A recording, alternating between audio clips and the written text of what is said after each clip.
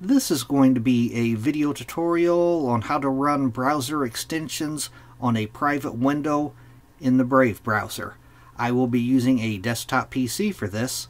Let me jump over to my browser here. I have the Brave web browser opened up now. To run your browser's extensions while on a private window, it's very easy to set your browser up to do that. First thing you want to do is go off to the upper right hand corner, up to the three bar hamburger menu. You want to click on that. Then you want to go down to where it says extensions and click on extensions.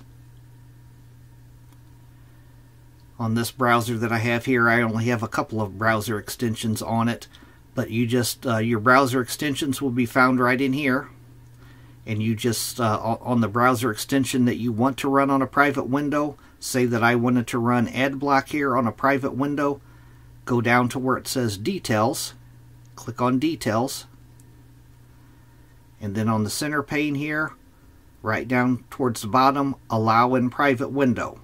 You want to toggle this on. And for me now AdBlock will be running if I'm in a private window that is how you run your extensions in a private window on the Brave browser. Thanks for watching.